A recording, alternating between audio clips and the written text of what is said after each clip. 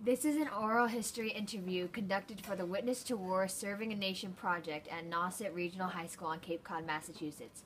For the sake of this interview, please state your full name and community in which you now reside. My full name is John Brewster Hopkins, and I reside in Truro. Truro.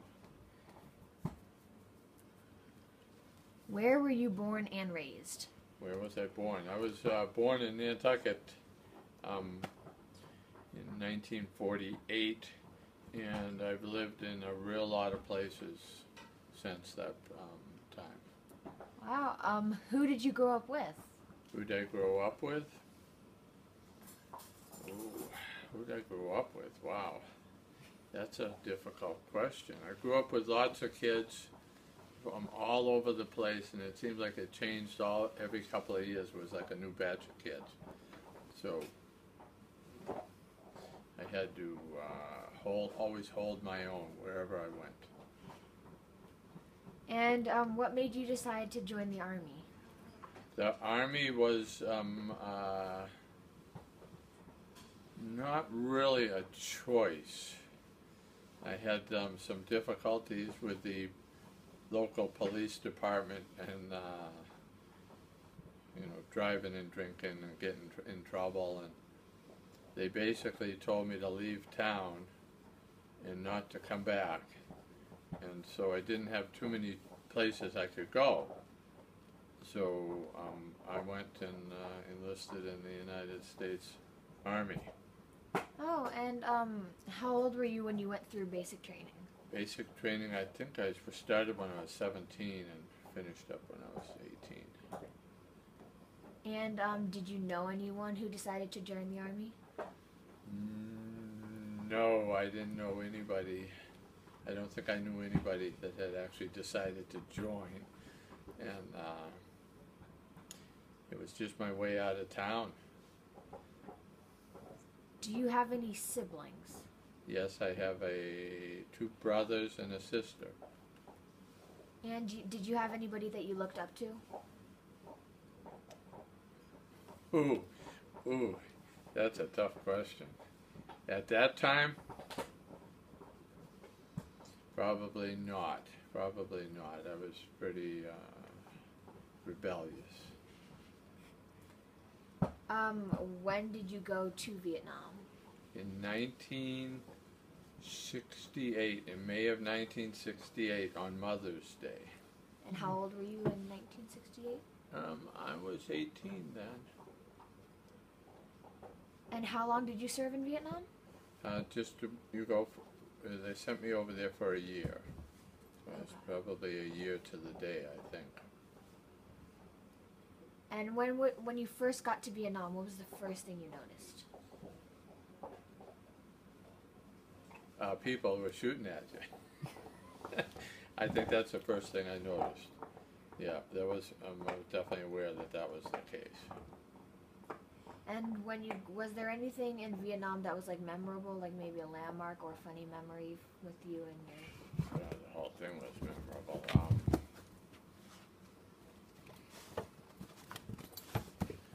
uh, what was memorable was how easy you get used to it. I would say that's how easy you get used to it from being. Hey, hey, hey! Do you know what? You know what? This is in the middle of something. Go, go lay down. Go on. Come on. Come on. Come on. Lula.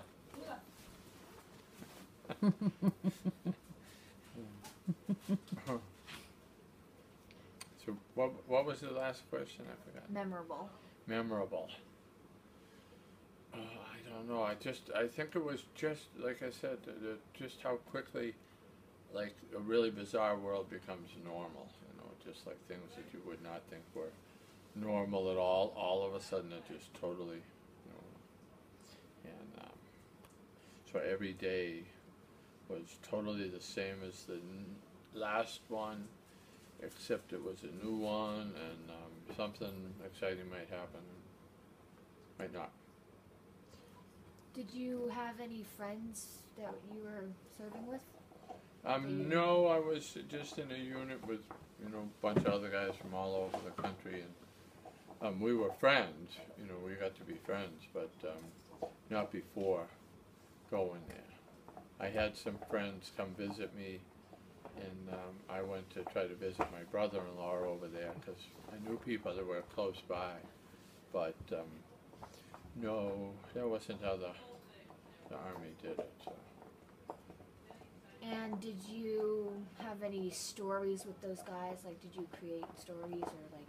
Stories, create stories. Um, I don't know. I don't know. It's kind of a like a a um,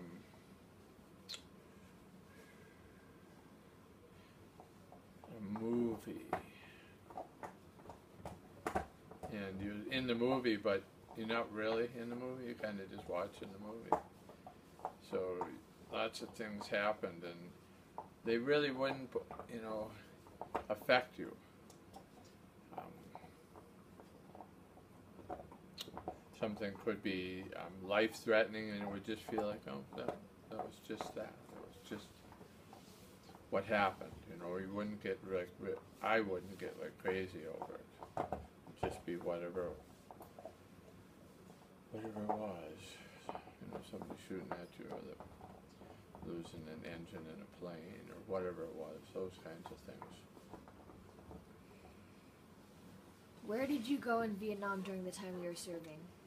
Um, I only went, I went all over the place in a little, um, little twin engine plane, but mostly I was only in a, like one base camp and then we flew out of there and just flew all over the place.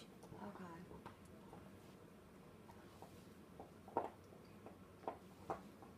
Um, what was it like for you when you returned to America? Um, it was very difficult to come back to this country because, uh, you know, nobody here was at war.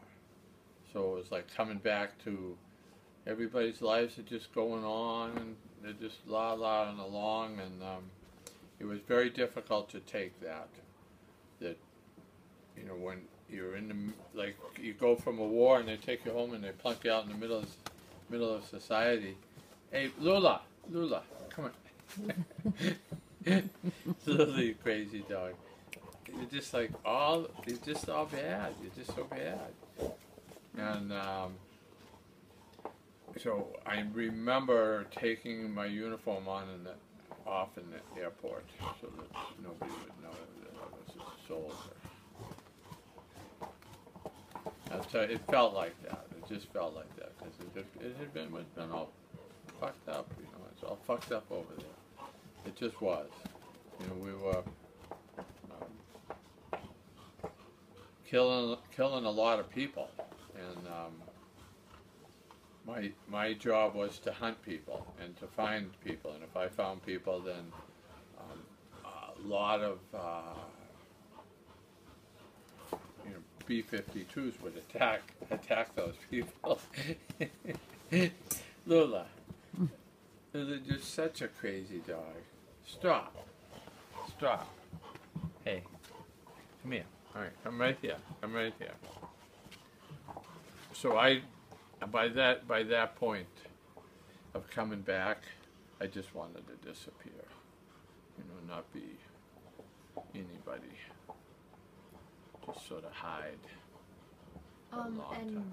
back to when you were in Vietnam, what did you, what was your main job? I know you My said main job was to go f- fly in a uh, OV-1 Mohawk with a pilot, and we would go out every day and um, look for signs of people in the woods. You know, through a like a area like this, probably about as big as all of Cape Cod. So all the, that's what we just did every day. We just went looking for because they, they had driven the people out of the countryside and into the cities. So if you were outside in the in the woods or you know where your farm was, you were considered um, an enemy, whether you were or not. And so we just that's what we did. We went looking for people. And can you describe like the feeling of flying in like a plane and looking for people? Ah, that's a really weird one. Um, it's kind of really, really um, wicked powerful because if you um, find somebody, you're probably going to kill them. I mean, the, the, amount of firepower that they would bring in was pretty impressive. So the likelihood of you living through me seeing you was not very high. And um, so after a while, it, it wears on you. You know, when you like you see people, you see them in a boat on a river, or you know, just like sometimes you knew they were soldiers because they would they would be moving fast. They would have that look about them, but sometimes was just people. And um, that's really wearing you know, to do that because uh, just is. I don't know how to put it any other way. And um, while I was there, I read a book that some church group had put in a box, and it was called The History of Vietnam. So somewhere in the middle of my tour, I read about the history of Vietnam and how they fought the French and they fought the Japanese and they now they were fighting the U.S. and it was like whoa. So it was an eye opener to be faced with that knowledge and to sort of have to still do your job.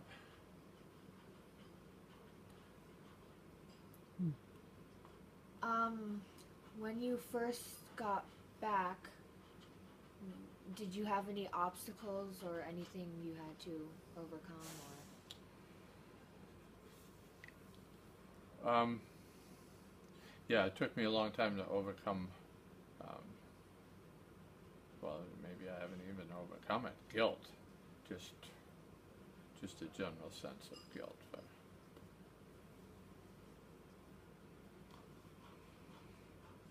And by serving in Vietnam, did it give you a different look on the world? oh yeah, it really did. It gave me a totally different look. Um, I was an 18-year-old kid, no political sense at all, no sense of the world, just you know wanting to party and and run around and be crazy. And uh, after going there, I realized that the United States government can be pretty vicious out in the world, and you don't really see it here, but you see it on the other end in these in these countries like Vietnam or mm-hmm. Libya or Iraq or wherever it is. and there's some people who make serious money at that business, and that's their business. So then they get dumb 17, 18 year olds, maybe even up into their 20s, to go do it under the guise of you know, wonderful U.S. and glory to the soldiers. Uh, are you? Great. When you first enlisted in the army, what did you, what were you expecting? Like, what did you expect? My, when I first enlisted, um, I had no clue. But the first day in the army, I knew I had made a big ass mistake. As I knew the very first day that I had 1,095 more days to go. I counted them because I knew I just had screwed up. And this was not going to be very much fun. And uh, it didn't turn out to be that much fun, but I did get through it. Got through it. Hey.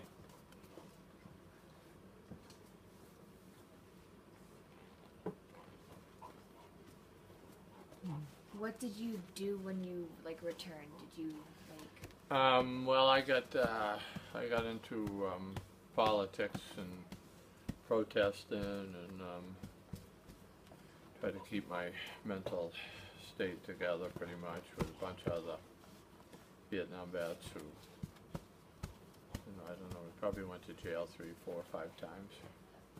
Just trying to get the soldiers who were there back out, you know.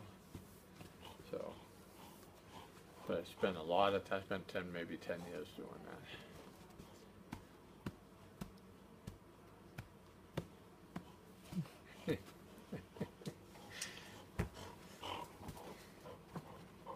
Did you start anything when you got back? Like, did you start working or? Well, yeah, I went to work, but I had to go to work because um, I went to work in construction because I didn't think I could fit into any other like corporate or business kind of thing. So I just started being a carpenter, and they didn't have um, they didn't have drug tests, you know, because I had a fairly good sized drug and alcohol problem. So I didn't think I would fit into a professional world very easily. So I just went to work as a carpenter, and that's what I've been doing for uh, 40 years, I think, something like that. When you first started, had you had any, ex- any experience with building? Mm, A little tiny bit, just working for a friend of mine's father. Uh,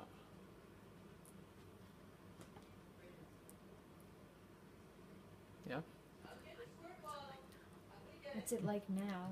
What's it like now? What's it like now? Um, I uh, am still quite severely bothered by um, Vietnam. I'm really kind of very anxious that there's going to be a big war, and uh, oh, I don't know. But I'm, I'm some ways I'm at peace with it. You know, it's just that just was such a long time ago. What else? What can I do? I can't undo it.